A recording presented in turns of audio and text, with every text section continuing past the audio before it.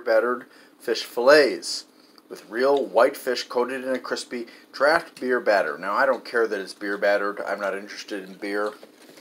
Um, but, you know, it's what was available at Aldi. Um, it's wild caught, certified sustainable seafood. I don't know. Let's see. And you can pause and take a look at the nutrition facts right there. Okay.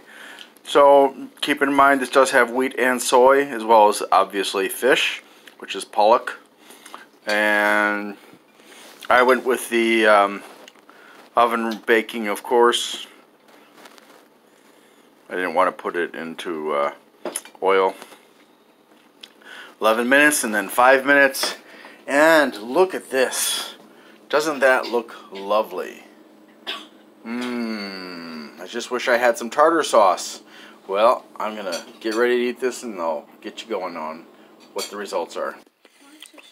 Okay, to continue, here we go. Let's first uh, break open a piece. And let me, there, there's the pollock. And yeah, it looks like uh, flaked fish. Nice coloration. So now it's time for me to amaze you with my culinary expertise in tasting.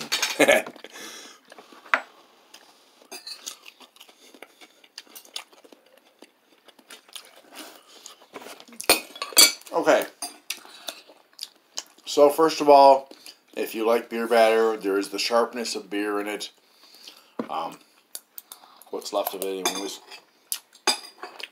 It is um, oily, unsurprisingly. Um, I wouldn't say that this is like the most amazing fish I've ever eaten.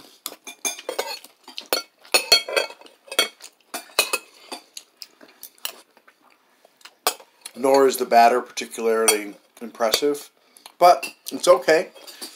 Um,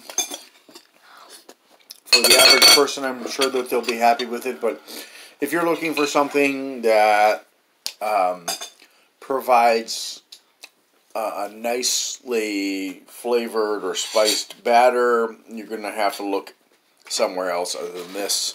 If you're looking for a strong beer batter flavor, again, you're going to have to look for something other than this.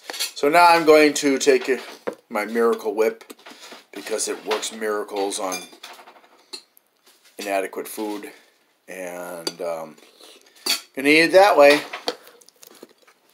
See?